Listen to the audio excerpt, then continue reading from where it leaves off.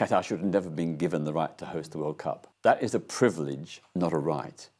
And with that privilege comes responsibilities, including responsibilities to uphold human rights. Seven of the competing nations, including Qatar, criminalize same sex relations. That means that if a star footballer from any of those seven countries came out or was exposed as gay, he would be more likely to be jailed than selected to play in the national team. That is discrimination. It's against FIFA's rules, but FIFA is doing nothing about it.